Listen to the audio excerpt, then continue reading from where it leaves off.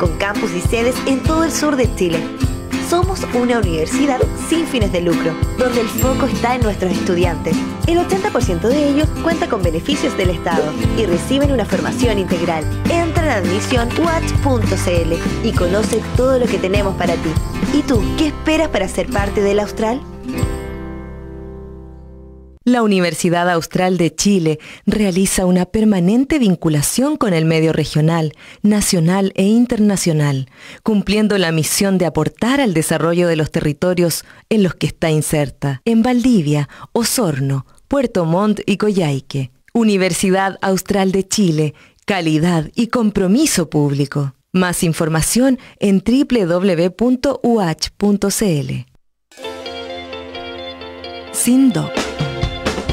Sindicato de Docentes de la Universidad Austral de Chile presenta Voces Académicas. Las palabras y los pensamientos que animan la docencia de la UACH llegan a Radio Universidad Austral de Chile en Voces Académicas. Acompáñenos.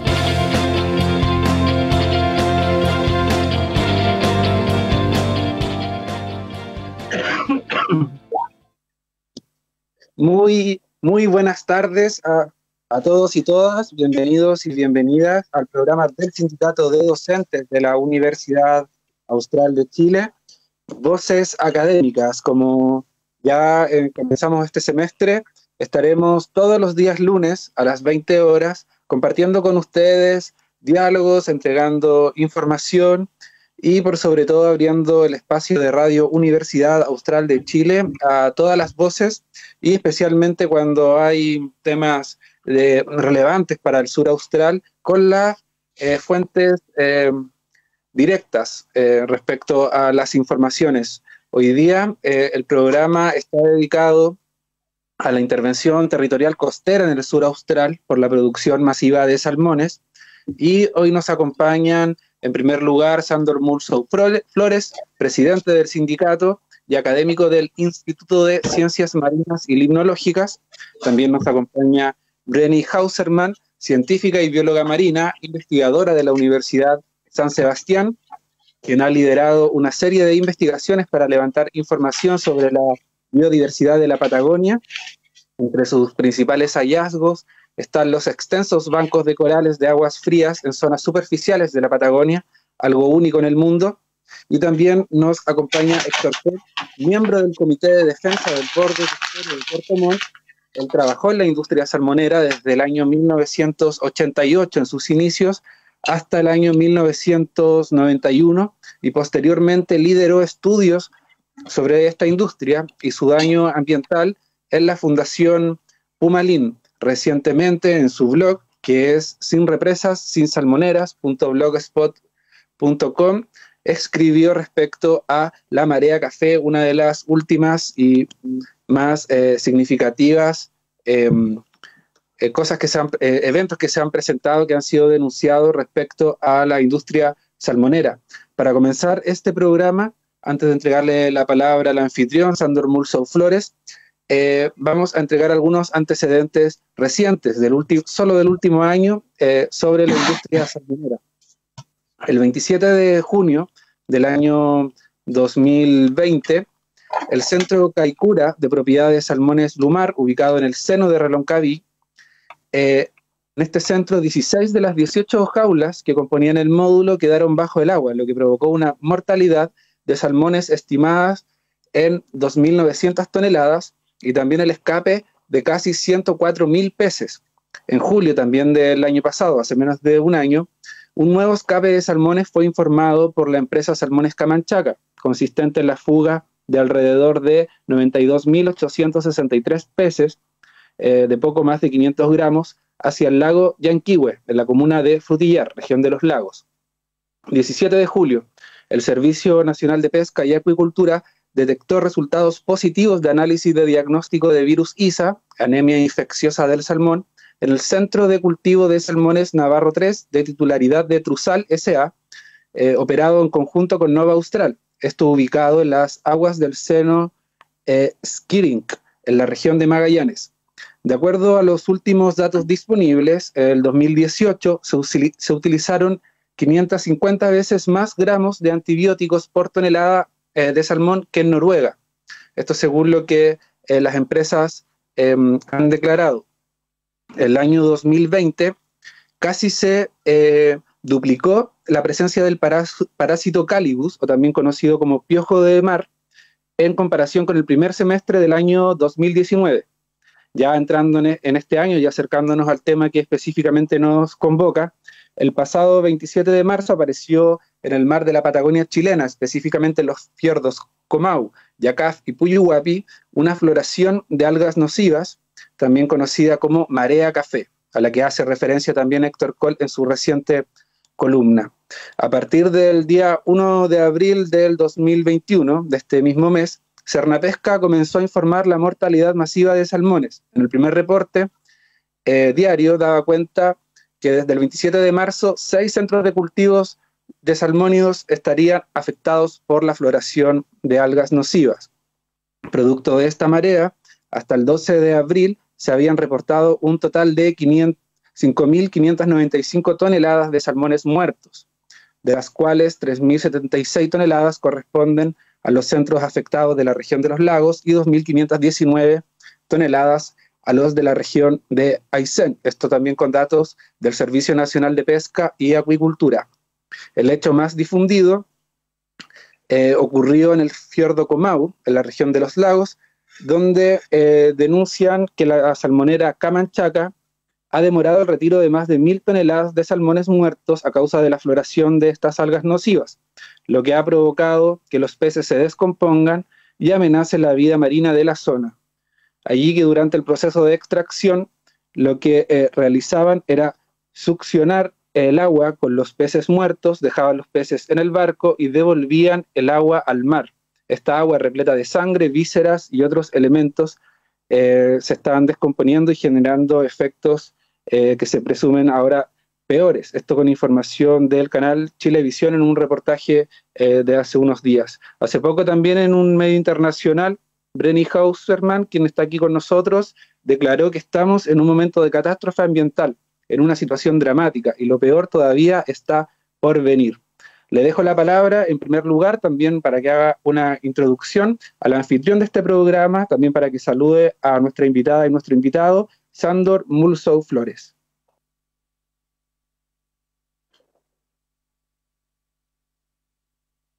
Tiene el sonido, el audio apagado. Eh, apaguen el otro micrófono porque se escuchaba reverberación, por eso lo apagué. Eh, buenas noches a todos y todas, eh, en especial a Breni y a, Héctor por aceptar en tan corta nota nuestra invitación a nuestro programa.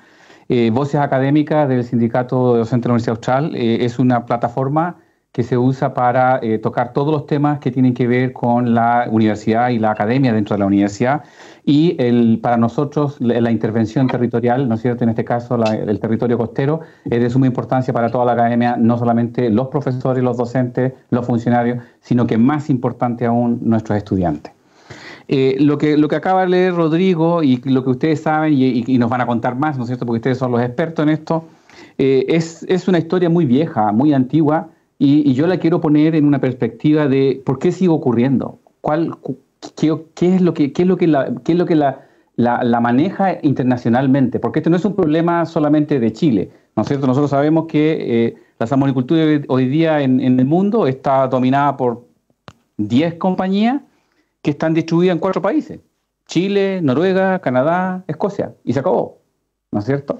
Pero ¿por qué tiene tanto éxito y por qué tiene tanta aceptación política y que seguimos siguiendo escuchando una y otra vez las tragedias que nos están diciendo? Esto es la, muerte anunciada, ¿no es cierto? Eh, de, de, como se dice literalmente. Bueno, eh, a lo mejor la respuesta está en de que los países, ¿no es cierto?, que eh, financian FAO, y me voy a FAO, ¿por qué? Porque creo que ahí está la clave, desde mi punto, desde mi perspectiva, Acabo de leer la, última eh, eh, misión de FAO, donde dice que los expertos están de acuerdo que con los avances tecnológicos y los recursos que tenemos, la entrada de pescado desde la, acuicultura va a, a expandir en todo el mundo en una manera sostenida. Ese es el mensaje internacional que le llega a los oídos a nuestros gobernantes de todos los países.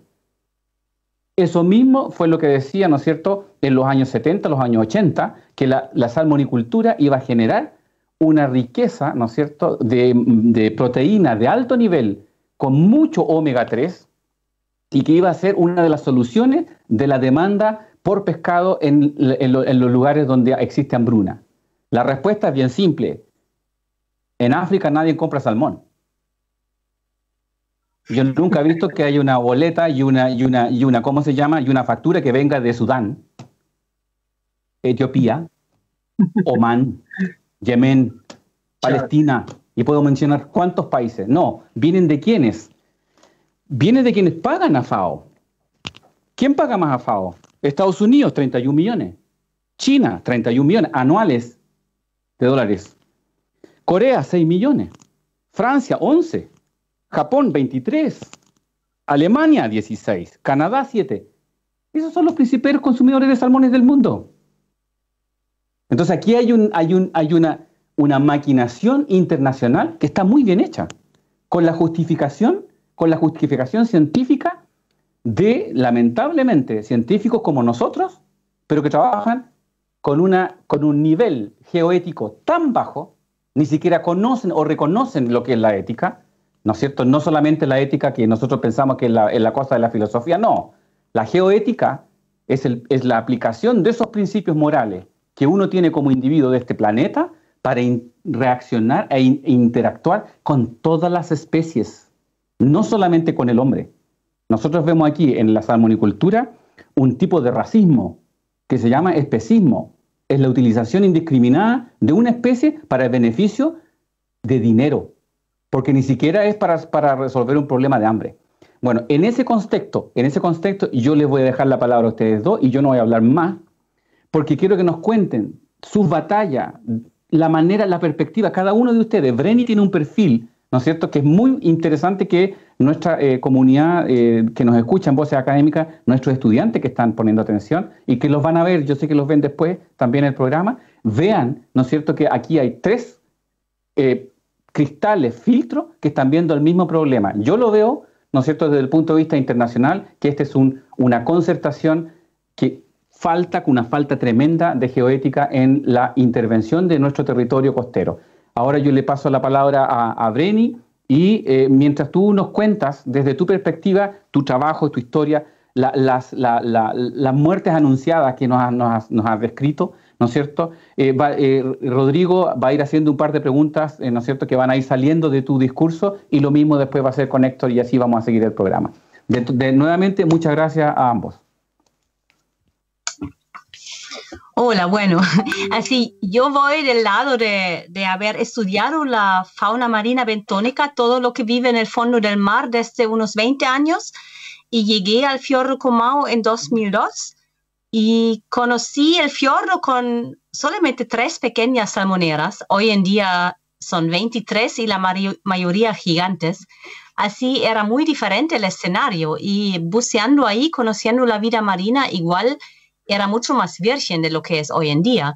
Así, por estos años hemos observado una degradación de la vida marina, un, cambio bien brusco. Había especies que, bueno, no desaparecieron completo probablemente, pero que antes eran comunes, que ahora son muy escasos. Por ejemplo, em, ermitaños, em, camarones de roca, que son especies que lo más probable es que sufren por los remedios que se usan contra el piojo que está haciendo problemas para el desarrollo de crustáceos en general. También observamos que las densidades de, los animales principales que forman como bosques de animales marinos, como se llaman, que estos son constructores de, de hábitat para otras especies como los corales, como las gorgonias, Em, están reducidos en abundancia en forma grave. Por ejemplo, en, en, una punta donde hemos hecho una comparación entre 2003 y 10 años después, en 2013, la abundancia de gorgonias y otros em, animales bentónicos grandes y longevivos um, fue reducido por 75% en solamente 10 años. Y bueno, y no había como tantos cambios en el fiordo, además de la, de la acuicultura que aumentó muchísimo, que sabemos que contribuye muchos nutrientes, químicos, antibióticos. Y claro, también hay otros, otros impactos en el fiordo. Hay como pescadores, hay gente sacando mitílidos. Obviamente también hay cambio climático, pero las especies sufren de, floraciones, de algas, por ejemplo, sufren de químicos, de, de, sustancias que se usan como remedio. Así la conclusión que hicimos es que lo más probable este cambio se puede atribuir a este aumento de la acuicultura, aunque al final, como científico, uno nunca lo puede comprobar tan fácilmente porque no existen lugares donde tengo un solo impacto humano. Eso para mí es un problema como principal que tenemos en la Patagonia, que en todos lados hay todos tipos de impactos. No tenemos áreas protegidas de no tocar donde podemos comparar por lo menos en la Patagonia Norte no hay. No tenemos lugares donde solamente hay acuicultura, donde solamente hay pesca, donde solamente se sacan los mitílidos. De esta forma, no podemos hacer estudios científicos em, usando como regiones de referencia. Así se complica mucho cualquier tipo de estudio. Bueno, y ahí estuve viendo como todos estos cambios, tuvimos mortalidades también masivas en el año 2012. Pasó un evento, probablemente una floración de algas no nocivas, pero una floración de algas, em, microalgas, em, probablemente dinoflagelados, pero era bastante fuerte. Y después, cuando murió la floración, lo que siguió la hipoxia parece que era tan grave que afectó a los corales em, que forman los bancos, los grandes, y lo más probable que es em, en este año había una actividad volcánica muy elevada. Vimos en la superficie, se pudo oler el sulfur de, los um, geysir. Em, se vio bacterias blancas que, que, vienen de sustancias químicas que salen del agua en grietas. Y en, esta, en bueno, estas sustancias em, hacen que muchos organismos, como también esta especie de coral, tienen más problemas en soportar una situación de hipoxia, que es una situación con poco oxígeno, comparado con una situación donde no hay estas sustancias como metano o sulfuro en el agua. Y por eso es lo más probable que murieran los corales. Adentro de una semana murieron a lo largo de 15 kilómetros del fiordo. Y bueno, eso fue la consecuencia en parte de una floración de algas. Por eso ahora mismo estoy bastante preocupado lo que pasará ahora cuando muere la floración, porque sabemos sí que estas hipoxias pueden tener consecuencias bastante graves. Muchas gracias, Breni. Así yo creo que es como un resumen. Gracias, Breni. Eh, le, paso, le pasamos la palabra a don Héctor desde su perspectiva. Sí, eh, eh, ¿me escuchan ustedes bien? Perfectamente. Ya, ok. Eh, bueno, la, introducción de Sandor,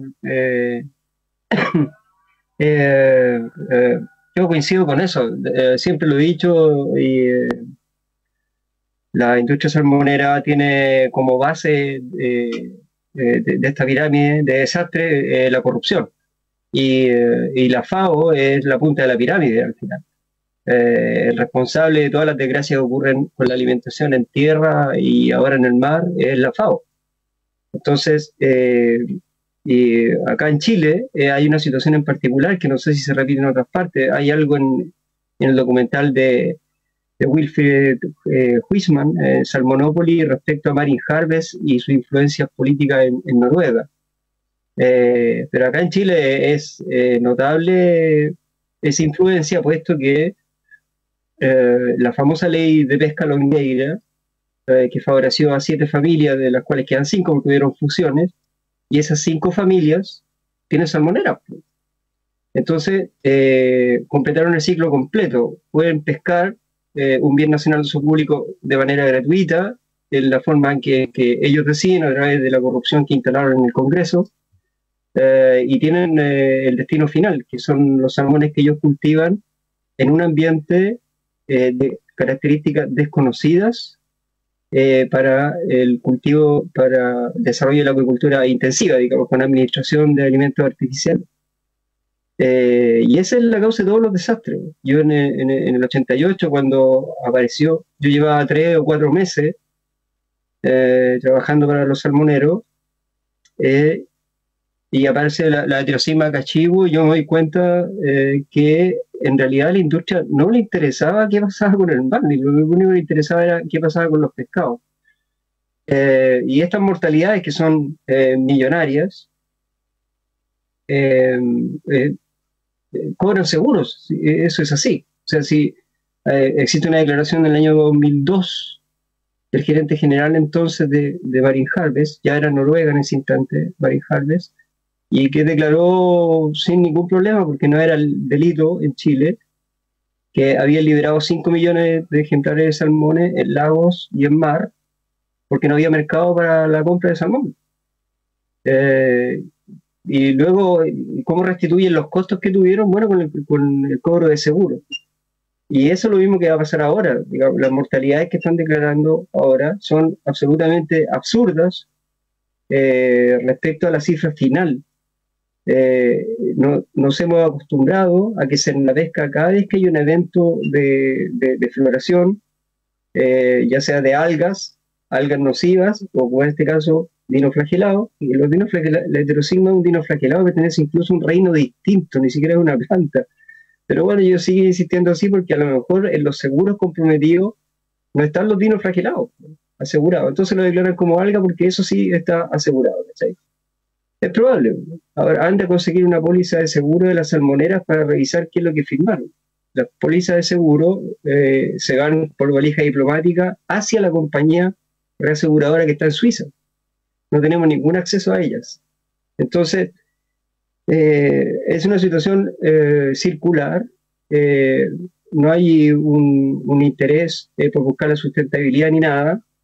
Existen suficientes académicos, suficientes académicos como para mantener el discurso de la sustentabilidad. Ahora todo el mundo está ah, apuntando a la sustentabilidad una industria que jamás va a ser sustentable ambientalmente hablando, eh, tampoco lo ha demostrado económicamente, pero no va a ser sustentable porque el salmón es una especie carnívora, depende de otras especies en el mar para poder vivir. Y ahí se acabó la sustentabilidad.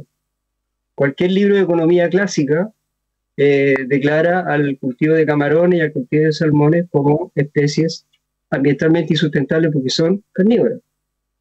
Pero aquí siguen insistiendo con eso. Y, tú encontrás a, premios nacionales de ciencia, incluso, que siguen eh, presentando proyectos apuntando hacia la sustentabilidad de la industria salmonera.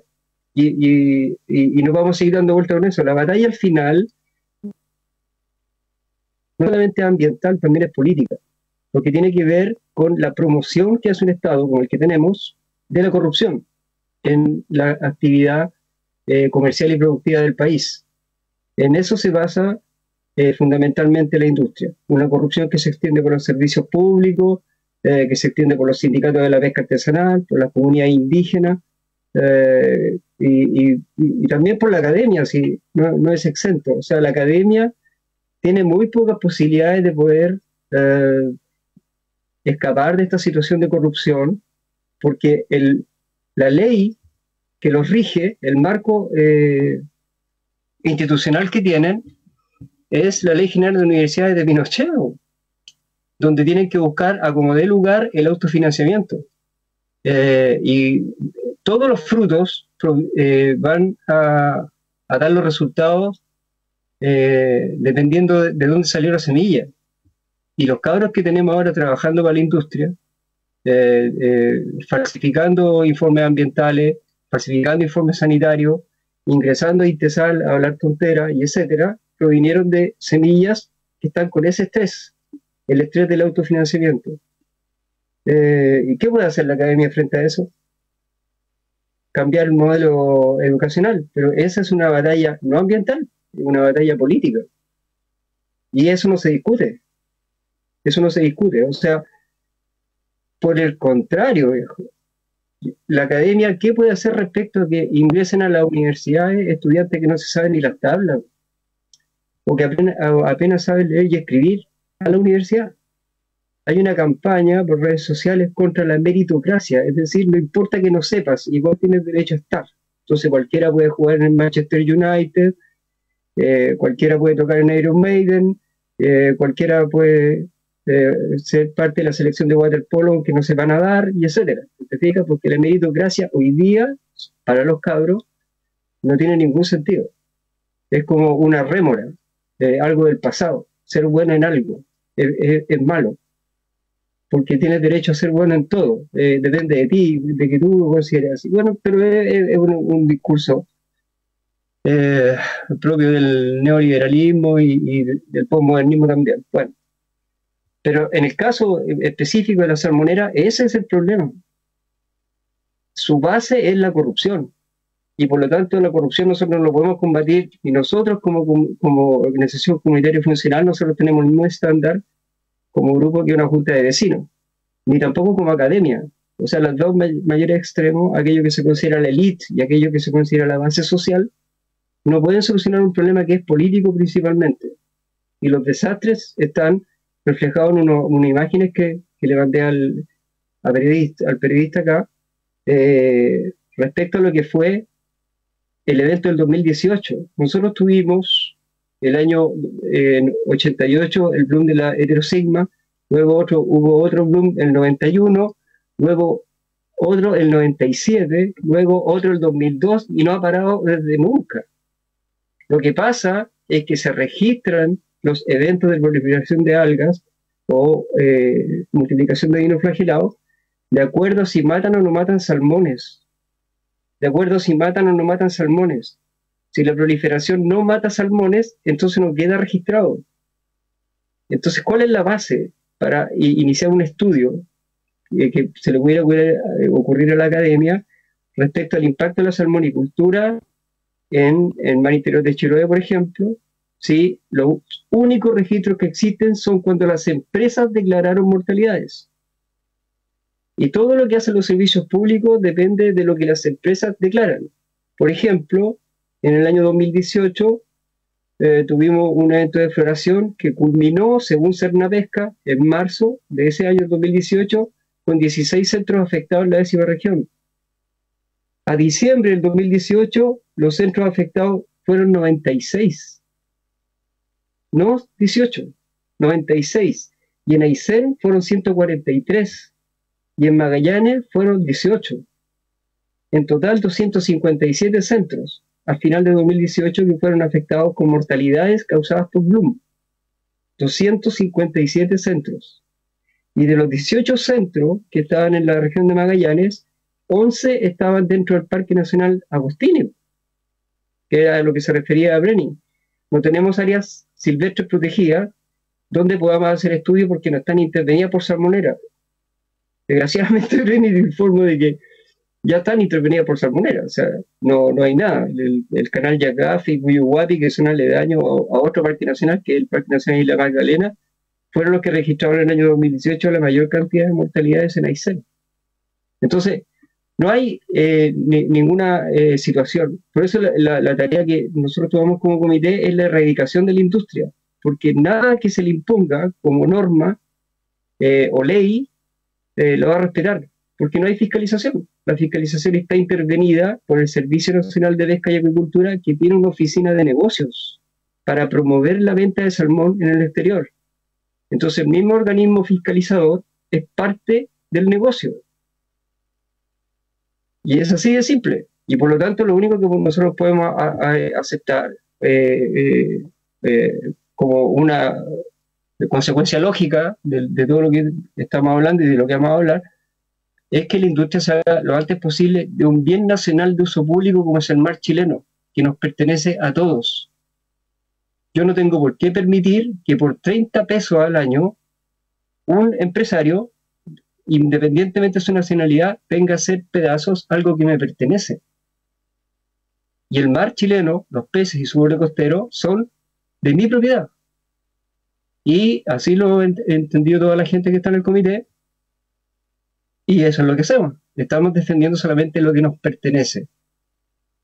Y por lo que pagan 30 pesos por metro cuadrado al año. Eso es una miseria.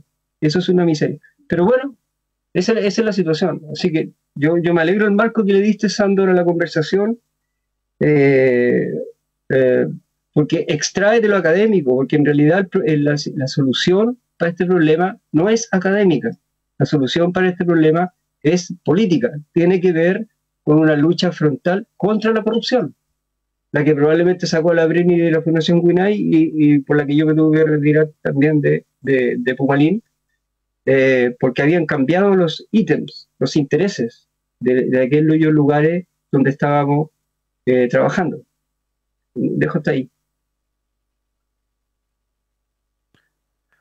Muchas gracias, Héctor. Estamos en vivo y en directo en Radio Universidad Austral de Chile, 90.1 FM, también en Facebook Live de Radio Universidad Austral de Chile. Agradecemos, bueno, así como agradecemos el tiempo de nuestro invitado nuestra invitada del día de hoy, también el valioso tiempo de las personas que nos sintonizan a través del Facebook, a través de la radio y también a quienes ya nos están escribiendo. Hay saludos de Juan Manuel Patagón, Karina Catalán González, Francisco Bogdan.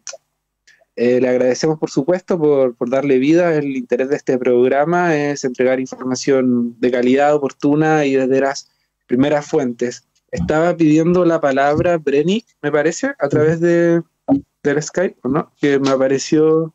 Sí, sí, ella le tenía la mano levantada. Sí, no, yo, solamente quería em, agregar como el tema un poco como de, nuevo del lado científico. Yo pienso que sí, también se puede como tomar el, el, tema del lado científico, porque yo creo que tenemos todos los argumentos científicos para tener que como reevaluar el impacto de la acuicultura, especialmente en fiordos semicerrados, con el ejemplo del fiordo Comaut, hay estudios que demuestran que el intercambio de agua en el fiordo es muy lento, demora meses hasta que se cambie. Así, todos, todos los nutrientes, los químicos que se echan al fiordo demoran mucho tiempo hasta que salen de nuevo. Tenemos estudios que entre el año 1990 y 2010 la producción primaria se duplicó en una estimación conservadora. Al final puede ser más eso es un cambio fuerte y eso significa que la cantidad de nutrientes que está en el sistema aumentó mucho en estos 20 años. Tenemos también estudios sobre las especies que están reducidas en, en, abundancia. Yo creo que al final la discusión siempre en el momento se gira alrededor de quién tiene la culpa, la salmonera, tiene la culpa o no. Yo creo que al, al final ni importa tanto, porque lo que sabemos que estas floraciones de algas se crean en condiciones que están fomentadas por el cambio climático, que es radiación solar elevada, que es lluvia en verano reducida, que es temperatura del agua superficial elevado, en combinación con la presencia de nutrientes como nitrato, como amonio, que claramente se agregan por la salmonicultura. No importa de dónde vienen los que están en el fiordo hoy, si ellos dicen que vienen de otras fuentes, bueno, yo creo que para el fiordo Comau no vienen de fuentes de la población humana, porque casi nadie vive ahí, no viene de deforestación, no viene de agricultura, porque no se hace. Pero al final no importa, ni siquiera tenemos que discutirlo. Lo que sabemos es que el nivel de nutrientes hoy en día es tan elevado que puede producir este tipo de floración de algas y por eso el único factor de todos estos factores mencionados que podemos influenciar es la cantidad de nutrientes que se agrega al sistema. Así el cambio climático, ojalá lo podemos frenar, pero en el momento es un hecho y tenemos este tipo de veranos con poca lluvia, con mucho sol, con calor. Y por eso tenemos que simplemente dejar de agregar esta cantidad de nutrientes al sistema. Y por eso yo creo que es lógico que es la única cosa que podemos hacer sin tener que discutir quién es el culpable, que quizás nos aleja un poco de lo que tenemos que hacer, porque al final tenemos que preocuparnos de cambiar esa cosa y no solamente de buscar los culpables.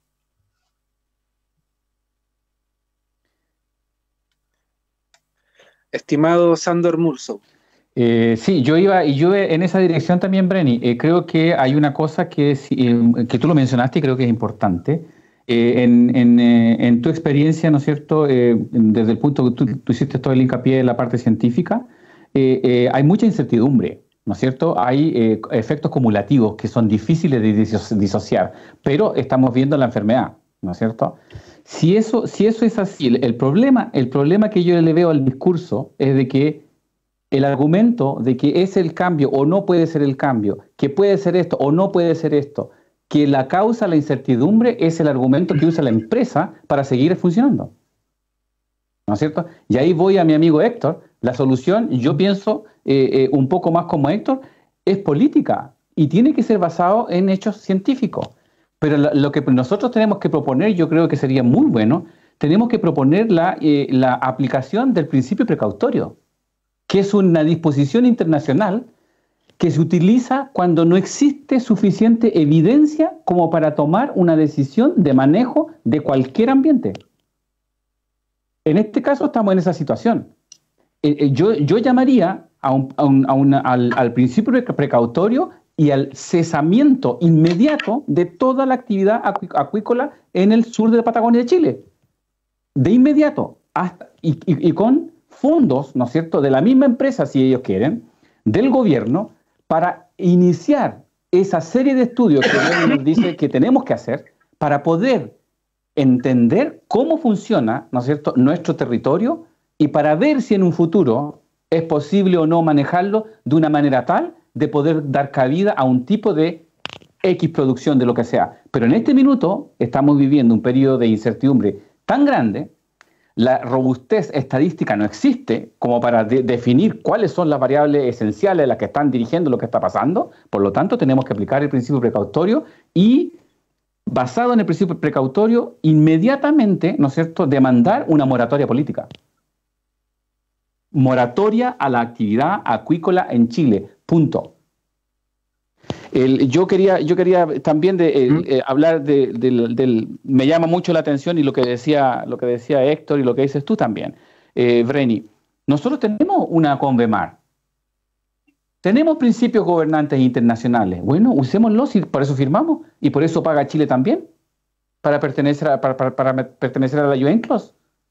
United Nations Convention of the Law of the Sea. Tenemos, tenemos las regulaciones internacionales. Bueno, hagamos que nuestros, nuestros representantes, ¿no es cierto?, políticos corruptos, ¿no es cierto?, que porque pueden ser corruptos también, pero le estamos pagando su sueldo también. Y ellos tienen que representarnos en las organizaciones internacionales y llevar nuestro discurso. Y si no llevan nuestro discurso, entonces nosotros lo imponemos. Si viene una COP26, bueno, hacemos una COP paralela a 26. ¿Qué es lo que iba a ocurrir en Chile y en la cual yo iba a participar, en la COP25 paralela, la estaba organizando yo.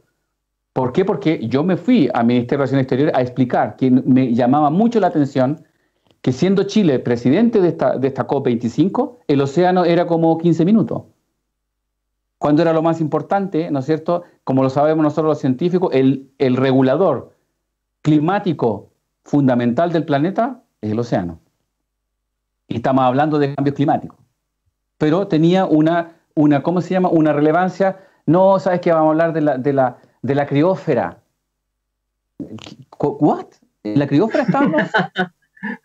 No, entonces por eso es que yo organicé y tenía los financiamientos y todo para hacer la COP25 paralela en Santiago. Yo me iba a poner al frente. Tenía ya organizado con dónde lo iba a hacer. Iba a ser al frente de la COP25 y con científicos de todo el mundo.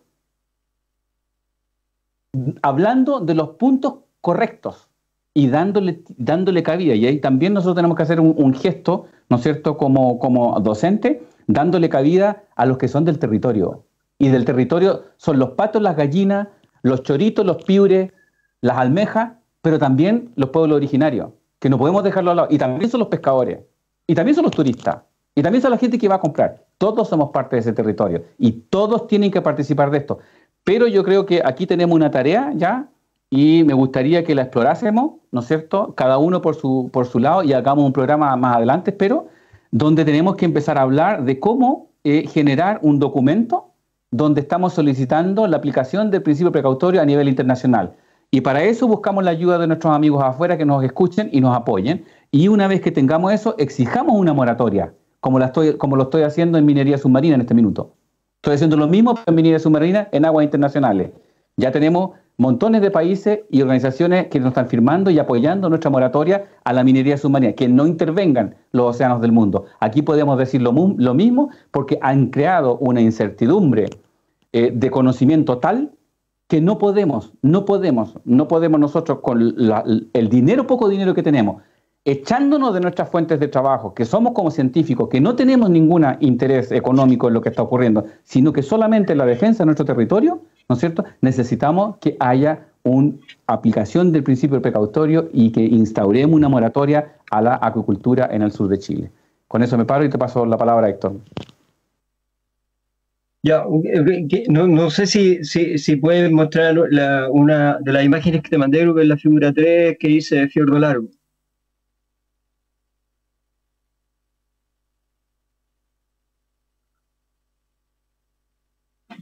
Bueno, mientras tanto relato, el, el, el, problema que tenemos, eh, y hablo estrictamente desde de, mi posición de eh, propietario de un bien nacional de uso público que está haciéndose pedazos como el mar chileno, eh, es que los avisos respecto a la destrucción que se estaba causando datan ya desde hace por lo menos 19 años. Yo recuerdo haber vuelto el año 2002 eh, a la región, luego de mi salida de industria salmonera, eh, y me encontré con la sorpresa de que en el estero Huito de Calbuco se había producido un fenómeno que llamaron el, estero, el síndrome de Huito, y, que se, eh, se refería a una mortalidad masiva de salmones en los centros que allí estaban ubicados por una burbuja de ácido sulfídrico. Y le llamaron el síndrome de Huito porque nadie investigó cuál fue la causa real de toda esa mortalidad. Eh, pero también en el año 2002 ya estaba iniciándose eh, la plaga de piojos de Calibur allí. Y en el estuario del Reloncaví, donde eh, logré recorrer, todo el borde costero del estuario del Reloncaví, por las dos orillas, por la orilla norte y sur, estaba, estaban instaladas estaciones de, de oxígeno que, con el que eh, desde las que salían eh, mangueras que se eh, insertaban dentro de las balsas jaula y con eso oxigenaban el agua para que los salmones no se murieran. Entonces, al año 2002 ya teníamos salmones en la UTI, porque en la columna de agua no había oxígeno suficiente para mantener a los salmones vivos. Es decir, era una innovación total de la industria salmonera que era el pescado que se ahoga, que es algo que nunca se patentó, debe haber sido así. Pero eso fue el año 2002 Estamos en el año 2021. No podemos seguir esperando porque fíjate bien, hoy día las mortalidades declaradas en Comau y Reñigüe son de 4.000 toneladas, o sea, 4 millones de kilos. Eso significa 20 millones de kilos de pesca silvestre que fueron transformadas en alimentos para cultivar esos salmones que al final se murieron y van a terminar como abono orgánico en la tierra. ¿Qué sentido tiene eso? ¿Qué sentido tiene eso? Estar transformando peces silvestres que ahora tienen cuota en alimentos para salmones que al final se mueren porque las condiciones en las que están eh, siendo eh, engordados no son las óptimas. ¿Por qué nosotros tenemos que ir a arreglar el negocio a los salmones con nuestro otro bien nacional de su público como son los peces en el mar? Entonces, eh, eso, hay un problema también, por supuesto, la investigación científica siempre va a ser un faro en las tinieblas, pero eh, el, problema ahora es temporal. Lo que nosotros tenemos es una situación eh, absolutamente extrema. En las imágenes al fiordo largo que, les mandé antes, eh, aparecen dos centros salmoneros de Camanchaca, las concesiones son de Fiordo Blanco, pero están arrendadas por Camanchaca, donde la producción de esos centros sumada supera las 9.000 toneladas, 9 millones de kilos de salmones en el fiordo largo eh, Sándor. Y cuando tú hiciste el estudio el año 2004 respecto a las zonas muertas, en el fiordo largo que tú investigaste, esos dos centros producían en conjunto menos de 400 toneladas. Ahora esos dos centros producen 9.000 toneladas. Una locura. Una locura. Entonces, y, ese es el problema que nosotros estamos enfrentando, queremos o queremos enfrentar, aspiramos a enfrentar dementes con datos científicos. Y eso no va a resultar. Eso no va a resultar. El mismo funcionario que eh, conocí el año 2007, eh, aprobando concesiones acuícolas eh, y producciones y ampliaciones de producción pero como enfermo de la cabeza sin ningún estudio, es el mismo funcionario que está hoy día evaluando los mismos proyectos. El mismo. Lleva 15 años en el cargo. Es un Highlander, un inmortal. Entonces, eh, no tenemos tiempo para eso.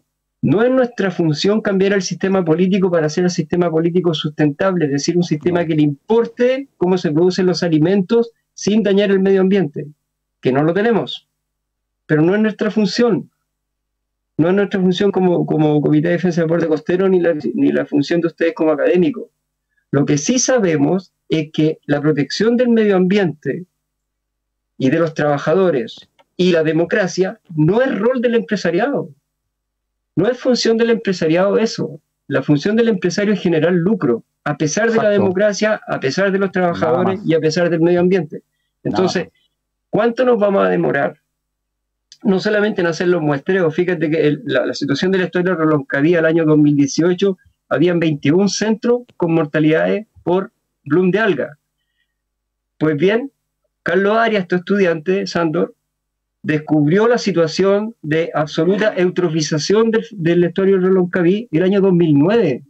El año 2009, hace 12 años atrás. ¿Cuánto se tuvo que demorar para poder terminar su tesis? ¿Te fijas? Todo ese tiempo de retardo a nosotros nos significan millones de toneladas de peces menos disponibles para la población eh, chilena. De este, de este sector, del mar de la Patagonia, salía el 70% de los productos del mar que se consumían en el mercado interno. Hoy día el 98% de los salmones que se producen, teóricamente, se exportan. O sea, todos los peces que nosotros nos comíamos, hoy día se transforman en salmones y se exportan. Nosotros no, le vemos ni siquiera una escama. Entonces, eh, no hay solamente un problema ambiental, hay un problema temporal que tampoco va a poder resolver la academia, porque la academia va a poder hacer todos estos estudios va a tener que postular a proyectos. Y respecto a esos proyectos y que tienen que eh, ver directa relación con el tema de la marea roja, la gente, la, pesca artesanal de Aysén, la que pesca, no la que anda limpiando la playa de las salmoneras, sino que los que pescan, nos pidieron eh, eh, investigar si existía algún sistema de detección temprana de marea roja que para ellos es, fundamental, porque están laborando tres días, llegan con su producción a Aysén y Senapesca se la rechaza porque está contaminada. Entonces, pierden todo ese trabajo y, y, eh. Bueno, encontramos 17 proyectos financiados por eh, CONICIT de desarrollo de eh, mecanismos de alerta temprana de toxinas de marea roja en, en marisco, en recursos bentónicos. Logramos encontrar a 14 equipos que habían recibido estos fondos, estoy hablando de proyectos aprobados, solamente 11 eh, eh, nos respondieron eh, y de los 11 solamente uno nos reconoció de que no había hecho el estudio, pero que había devuelto la plata. Ni siquiera tenía dónde devolverla, tuvo que abrir un fideicomiso y ahí tiene la plata depositada que se le entregó porque no pudieron muestrear. ¿Te fijas? Pero, pero fíjate bien, fíjate bien, 17 proyectos, una cantidad de millones de pesos increíble que fueron perdidos. Y en este instante, con toda la tradición que ya tenemos Marea Roja desde el año 88 con la Marea Café, todavía no existe un, sistema de alerta temprano para eso. Entonces, dentro de las variables para solucionar este problema, no solamente el ataque a la corrupción, sino que también está la variable temporal. Cada día que pasa y cada salmón que se muere significa que 5 kilos de pescado, entre 5 y 10 kilos de pescado de pesca silvestre que era apta para el consumo humano, se perdió también. Por cada kilo de salmón, ¿te fijas? Entonces, esa, eh, es eh, una situación, sí.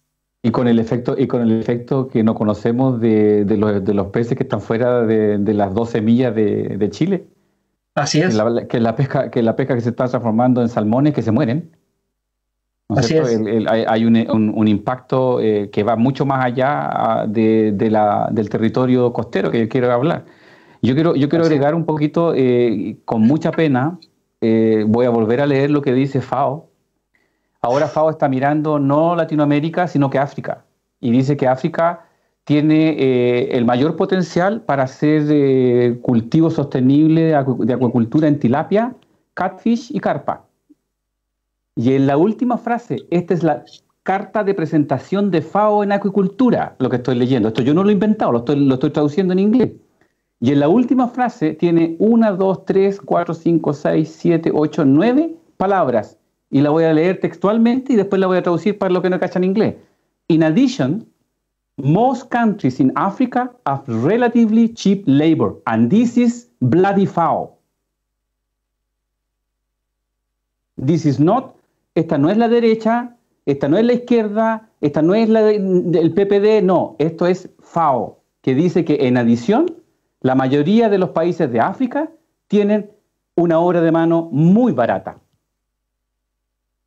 ¿Cuál es el mensaje a la industria salmonera? Ah, Gold Rush, ¿no es cierto? Aquí hay oro, vamos a destruir todas toda, toda los, 500, son, aquí tienen los nombres, los números, son 520 mil kilómetros cuadrados donde se puede hacer eh, tilapia, carp y catfish en forma sostenible y expandida.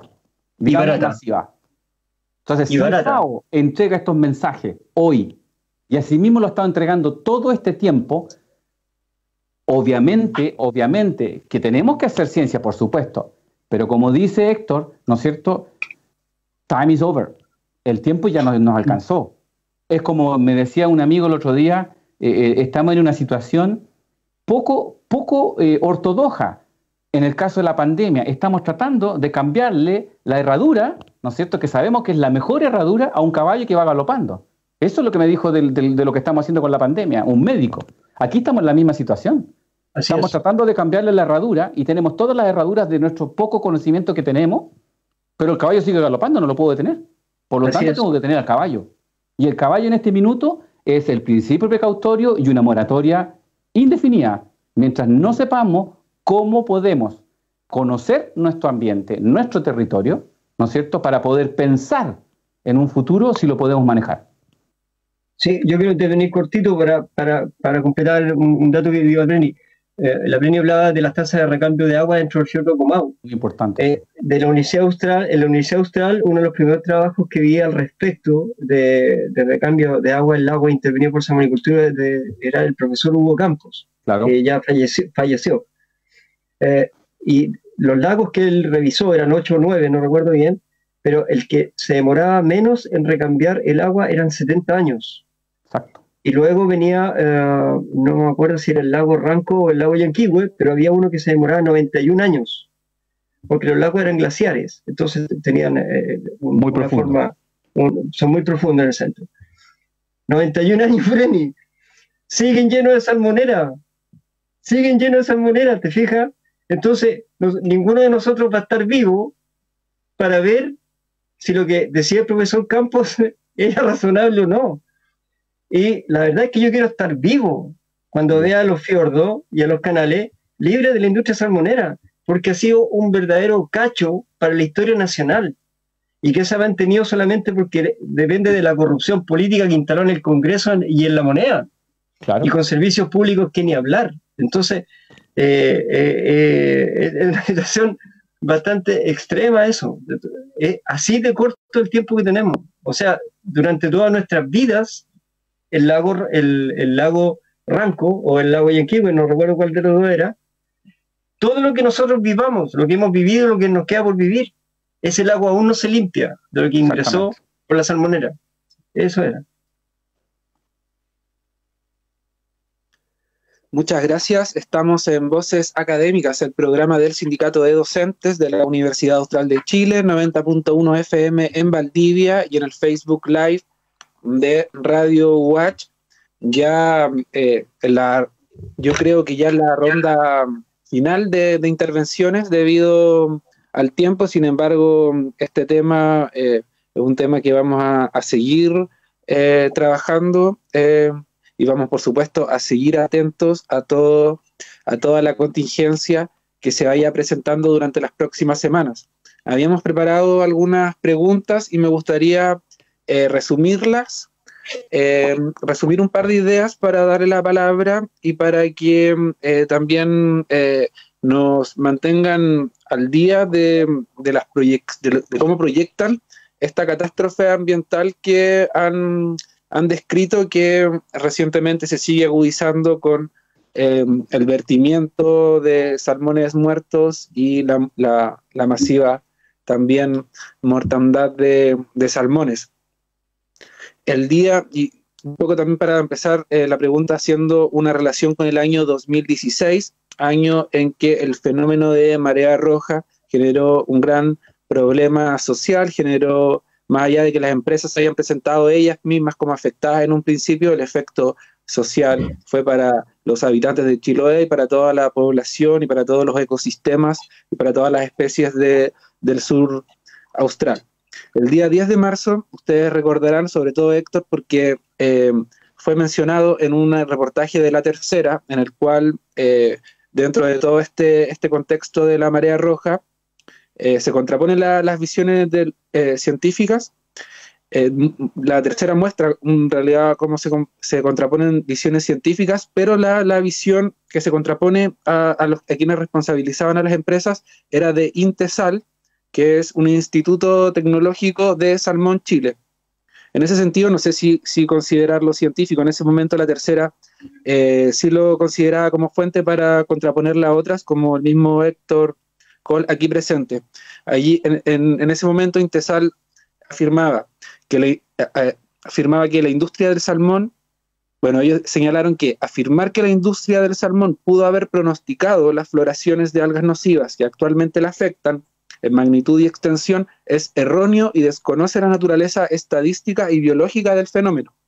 En primer lugar, me gustaría preguntarle si esa argumentación de las empresas que conocimos hace algunos años en un fenómeno parecido a este, eh, pierde sentido. Si esa argumentación hoy día pudiesen volver hoy día a, utilizarla las empresas para defenderse de, los fenómenos que se están presentando y como decía Héctor, eh, se, han seguido presentando eh, constantemente eh, desde el inicio de la, de la industria salmonera. Y también, haciendo también una, relación con ese momento, el año 2016, en una entrevista internacional que dio Héctor, bueno, que está en, YouTube, em, Héctor dice, en este momento el estado sanitario es peor que el año 2007, haciendo referencia a otro gran episodio crítico que es el del virus ISA. También Brenny eh, comentó hace unos momentos que cada vez el nivel de nutrientes en el agua es mayor. Entonces, para abrirle la palabra en la última intervención y para cerrar este programa con, información sobre la actualidad y su opinión respecto a la actualidad de estos fenómenos ambientales, eh, preguntarles em, cuál, eh, qué, creen que puede eh, suceder desde este momento, entendiendo que estamos frente a, casi 5.000 o más de 5.000, dice Cerna Pesca, Héctor mencionó 4.000 toneladas de salmones muertos reportados. El 2016 fue un fenómeno en que primero, parecido a lo que está pasando ahora, las empresas eh, se demostraron afectadas por em, la mortalidad de los salmones, arrojaron salmones al mar y eso eh, repercutió en, en, peores condiciones ambientales para toda la zona, ya no solo Chiloé, sino que más hacia el norte.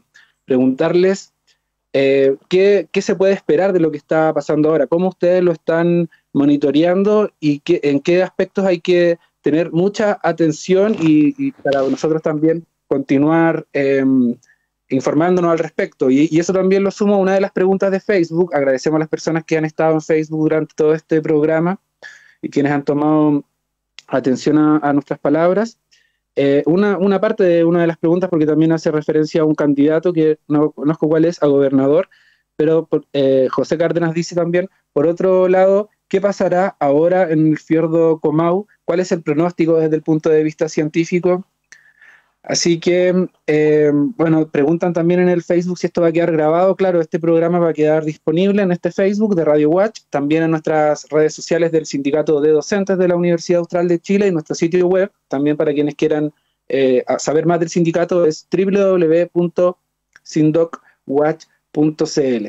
Entonces, con esa, eh, entre comillas, preguntas, un poco juntando las, dudas que habíamos hablado con Sandor hoy día, eh, les abro la palabra.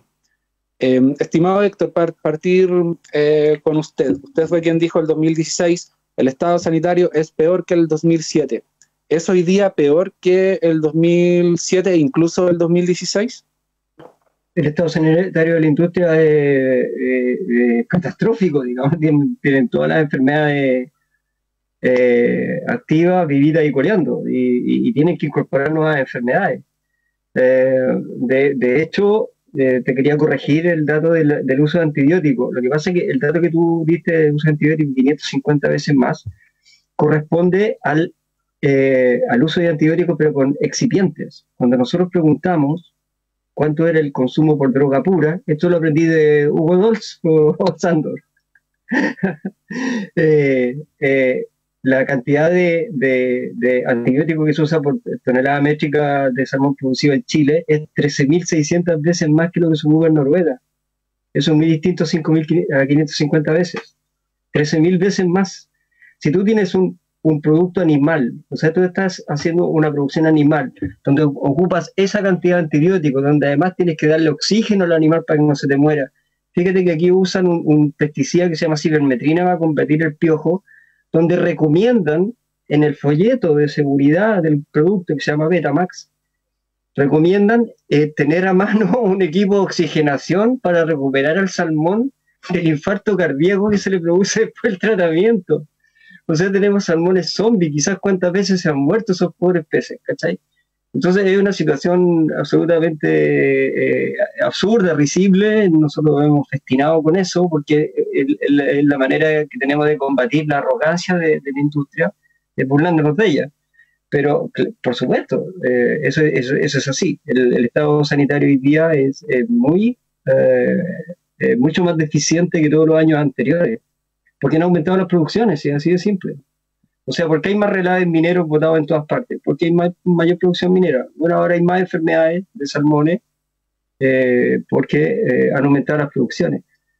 Mira, fíjate bien, eh, cuando vino la Heterosigma a Kashibu, hizo su presentación en sociedad, lo que estaba produciendo Chile eran 4.000 toneladas de salmón en total. Hoy día produce un millón de toneladas, 250 veces más.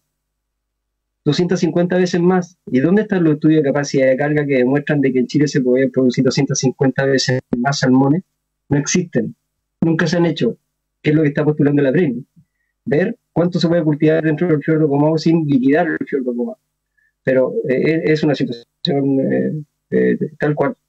vuelvo a reafirmar lo mismo, lo actualizo. Hoy día están peor que antes en lo sanitario.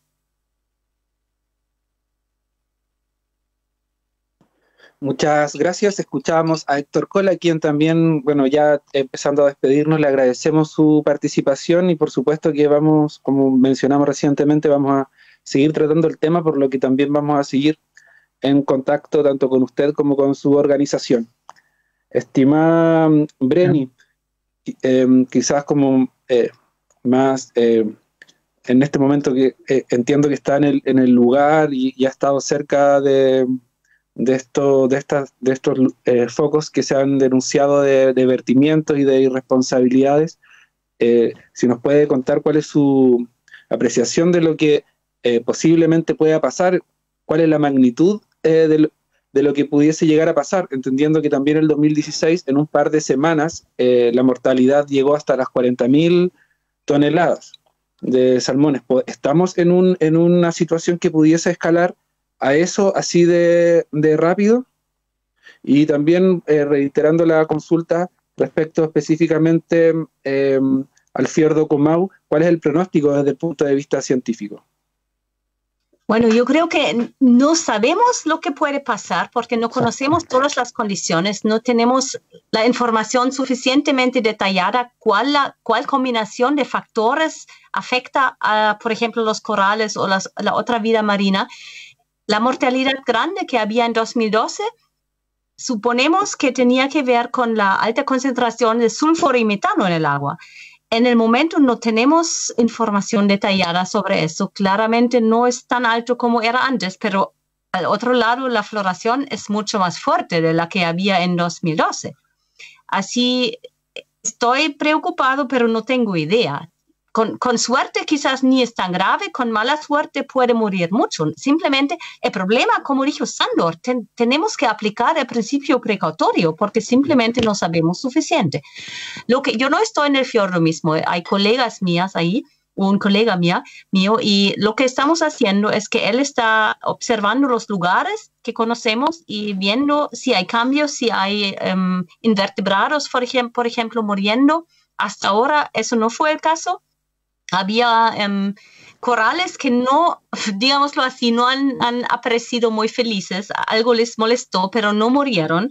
Así estamos observando, nos vamos a los mismos sitios y, ojalá no pase tanto más, pero como dije, en el momento lo único que podemos hacer es observar y documentar lo que está pasando, pero no tenemos idea qué va a pasar y, y no tenemos suficiente información para saber en cuáles condiciones la vida puede sobrevivir, en cuáles no, porque para eso necesitamos estudios detallados de cada especie en condiciones extremas, con poco oxígeno, con diferentes químicos, con diferentes sustancias en el agua que simplemente no podemos conseguir en forma suficientemente rápido. Así igual quiero terminar con lo que dijo Sandor. En el momento no nos queda nada más que documentar lo que está pasando, pero al final el principio precautorio es la clave para el futuro. Así es. Muchas gracias, Breni, por eh, tu tiempo, tu participación, también por el video que nos compartiste, que no lo pudimos em, transmitir en, la, en el Facebook Live, pero lo acabo de compartir en el, el link en el Facebook para quienes nos están mirando desde sus computadores o teléfonos puedan revisarlo posteriormente, que Em, es un registro de, entiendo que junto con sus colegas de em, los bancos de corales en eh, la Patagonia. Gracias. Y bueno, también aprovechar de agradecer una vez más a todas las personas que nos sintonizaron, también a la radio, a, Diego Castro, eh, Toño Martel, quienes están en este momento físicamente en la radio, eh, y por supuesto, también, bueno, por esta vez también agradecer y, darle la bienvenida también en nombre del sindicato a Claudia Caripán, quien se integró hace muy poco tiempo. Este es su primer, el primer programa en el que nos acompaña desde la promoción en las redes sociales. Ella es la nueva asesora de, comunicación digital del sindicato. Em, y bueno, ya eh, dando estos agradecimientos eh, de despedida, le entrego la palabra a Sandor Murso Flores para que sea él quien despida esta edición de Voces Académicas. Eh, muchas gracias, Rodrigo. Primero que nada, agradecer nuevamente a Breni y a Héctor. Eh, me siento lleno de, esperanza, yo soy bien positivo en esto. Eh, estamos jugando contra el reloj, pero hay que seguir dándole, hay que seguir dándole. Y voy a pasar un, comercial. nosotros el 26 de, de abril eh, presentamos cuatro casos donde aplicamos la geoética a intervenciones territoriales. Y obviamente una es la salmonicultura, la otra es el agua que bebemos, ¿no es cierto? La otra es eh, la degradación de los suelos, ¿no es cierto? Todo tiene la misma historia. Todo, todo, todo, muy, muy parecido. Y eh, la última es, ¿no es cierto?, la minería submarina en aguas internacionales. Todas ellas tienen algo en común ocurren desastres porque no hubo una, una visión inicial basada en la geoética, basada en el principio precautorio, basada en exploremos para conocer, no para producir. Peor, no para producir lo que comemos, sino que para producir para hacer dinero. Nosotros los salmones que cultivamos en Chile ni siquiera son chilenos, no son especies eh, autóctonas, son exóticas. Y no la producimos para resolver el problema de hambre de Chile. La producimos para alimentar con salmón fresco a gente en Miami, en Japón. ¿No es cierto? Y por eso que lo estamos haciendo nosotros en la Comunidad Económica Europea, porque quiero que no compren salmón de Chile. Ese es mi mensaje. Porque el día que si, ustedes siguen comiendo salmón de Chile, más destruido va a estar nuestro, nuestro, nuestro territorio. Y el territorio no es solamente el hábitat. Como lo dije, en este minuto, Héctor y Breni son parte de mi territorio porque los conozco, tengo relaciones intelectuales con ustedes, son parte de mi territorio. O sea, yo me voy a morir y en algún minuto de, cuando me esté muriendo van a, van a saltar estos chispazos y va, y va a ser Héctor y va a ser Breni. No van a dejar de ser parte de mi territorio. Por lo tanto, es muy importante lo que estamos haciendo en este, en este grupito, somos cuatro nomás. Pero los cuatro tenemos un mensaje en común, si no nos detenemos y no aplicamos el principio precautorio, esto no va a parar. Con eso me despido y nuevamente un millón de gracias. Y cuando ustedes sientan que tienen un programa que necesitan nuestro apoyo, no, nos de, no, no titubeen en dejárnoslo saber y lo acomodamos. Ok, muchas gracias a ustedes.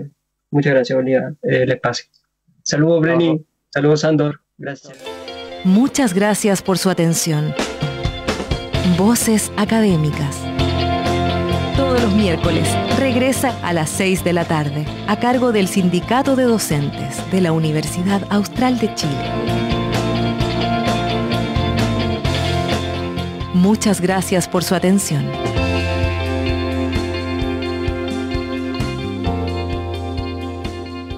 Construyendo educación superior desde la